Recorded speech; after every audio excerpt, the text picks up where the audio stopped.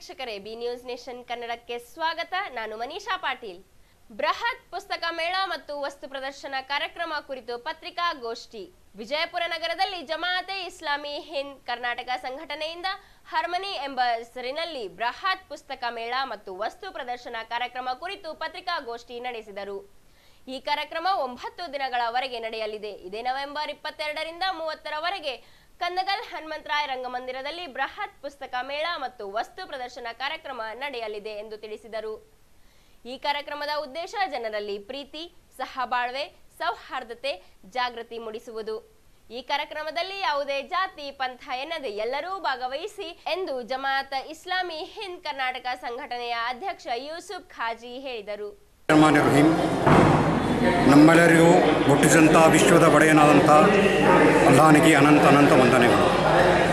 ಆತ್ಮೀಯರೇ, ಇವತ್ತು ಈ ಪತ್ರಿಕಾಗೋಷ್ಠಿ ಕರೆದಂಥ ಉದ್ದೇಶವೆಂದರೆ ನಮ್ಮ ದೇಶದಲ್ಲಿ ಒಂದು ಸಹಬಾಳ್ವೆ ವಾತಾವರಣ ನಿರ್ಮಾಣ ಮಾಡುವುದು. ತಮ್ಮೆಲ್ಲ ಗೊತ್ತಿದ್ದ ಹಾಗೆ ನಮ್ಮ ದೇಶ ಒಂದು ಮಹಾನ್ ದೇಶವಾಗಿದೆ. ಇದರಲ್ಲಿ ಅನೇಕ ಜಾತಿಗಳು, ಅನೇಕ ಧರ್ಮಗಳು, ಅನೇಕ ಪಂಗಡಗಳು, ಅನೇಕ ಸಂಸ್ಕೃತಿಗಳು ಮನೆ ಮಾಡಿವೆ. ಶತಮಾನದಿಂದ ಜನರು ಇಲ್ಲಿ ಸಮೃದ್ಧಿಯಿಂದ, ಸಹಬಾಳ್ವೆಯಿಂದ ಬಾಳುತ್ತಿದ್ದಾರೆ. ಆದರೆ ಇತ್ತೀಚೆಗೆ ಕೆಲವು ದುಷ್ಟ ಶಕ್ತಿಗಳು ಜಾತಿಯ ವಿಷದ ಬೀಜವನ್ನು ಬಿತ್ತಿ ಈ ಸಂಬಂಧವನ್ನು ಕೆಡಿಸಲಿಕ್ಕೆ ಪ್ರಯತ್ನ ಮಾಡುತ್ತಿದ್ದಾರೆ.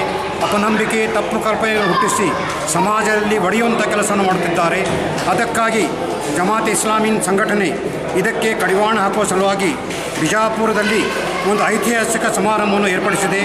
ಬೃಹತ್ ಪುಸ್ತಕ ಮೇಳ ಮತ್ತು ಒಂದು ವಸ್ತು ಪ್ರದರ್ಶನವನ್ನು ಕಂದಗಲ್ ರಂಗಮಂದಿರದಲ್ಲಿ ನವೆಂಬರ್ ಇಪ್ಪತ್ತೆರಡರಿಂದ ಮೂವತ್ತರವರೆಗೆ ಇದು ಏರ್ಪಡಿಸಲಾಗಿದೆ. ಇಪ್ಪತ್ತೆರಡರಂದು ಅದು ಉದ್ಘಾಟನೆ ಸಮಾರಂಭವಿದೆ.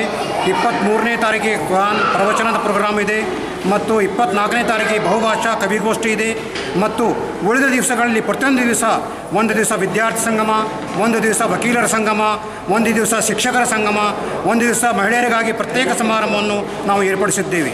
ಮತ್ತು ಕೊನೆಯದಾಗಿ ಮೂವತ್ತನೇ ತಾರೀಕಿಗೆ ಒಂದು ವಿಚಾರ ಸಂಕಿರಣ ಮತ್ತು ಸಮಾರೋಪ ಭಾಷಣವನ್ನು ಏರ್ಪಡಿಸಿದ್ದೇವೆ. ಸಂಪೂರ್ಣ ವಾರ್ತೆಗಾಗಿ ನೋಡ್ತಾ ಇರಿ, ಬಿ ನ್ಯೂಸ್ ನೇಷನ್ ಕನ್ನಡ.